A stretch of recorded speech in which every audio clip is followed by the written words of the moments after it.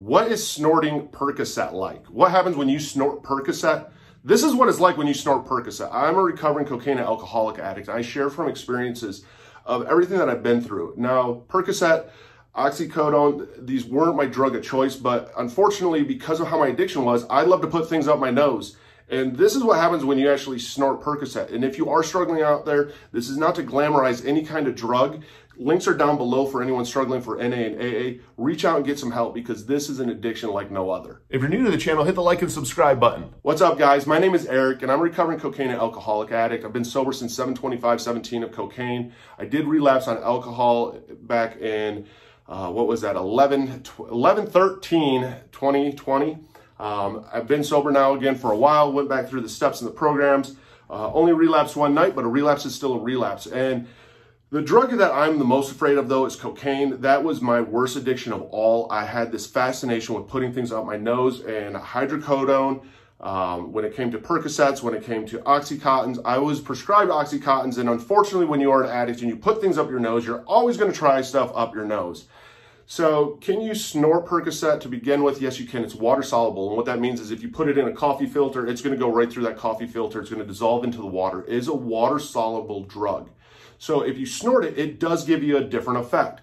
Xanax, for example, isn't water soluble, but anytime that you snort a drug, it hits your system a lot quicker. So I have taken Oxycontins uh, or oxycodone for a surgery that I ended up having and when I ended up taking it, I didn't like the feeling that it gave me. It wasn't really my drug of choice. It really mellowed me out. But you get me with some cocaine in my system, and I was snorting everything and anything up my nose.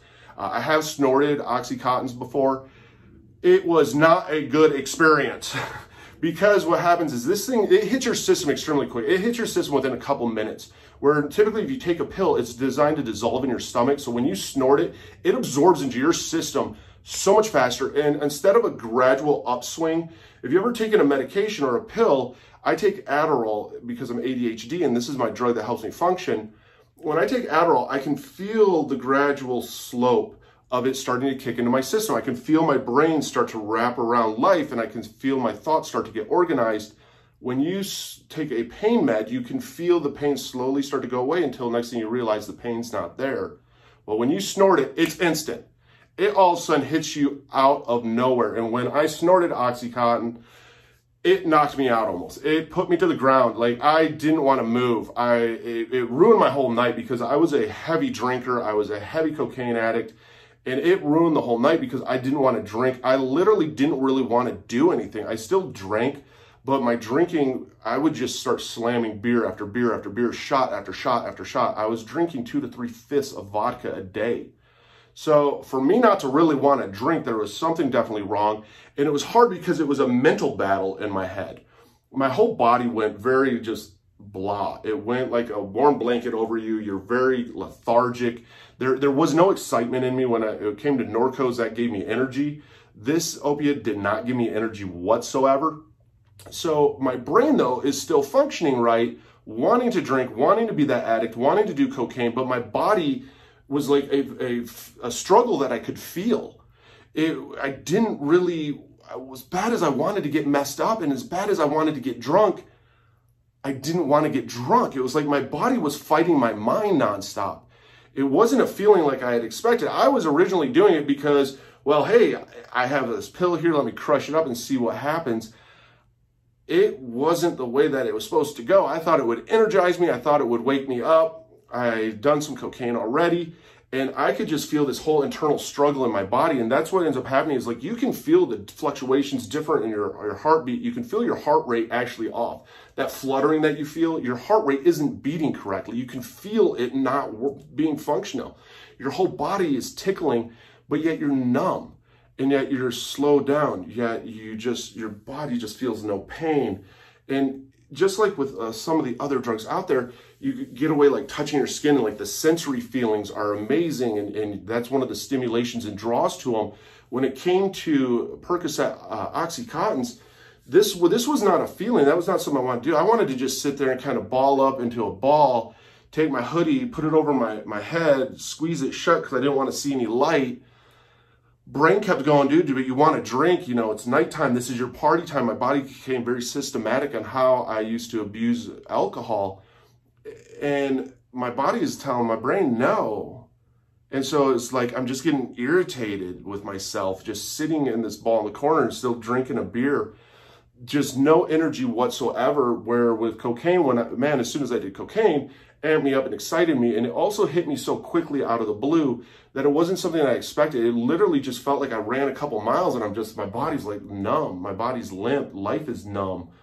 No pain, but numb. Like when you got done just exhausting yourself and you felt good, but your brain still wants to keep going. I mean, it was a hard, just internal struggle. I never did it again except for one night. I have snorted other drugs before, and they all do hit you differently.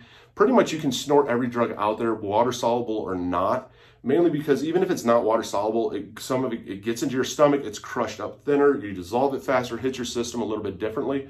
But water soluble drugs actually absorb into your system a lot differently, so it hits you a lot harder. So it really takes you to just 100 to zero really quick. And it is a very highly addictive drug. And if you are out there struggling with addiction, I get it, man. I've been there before.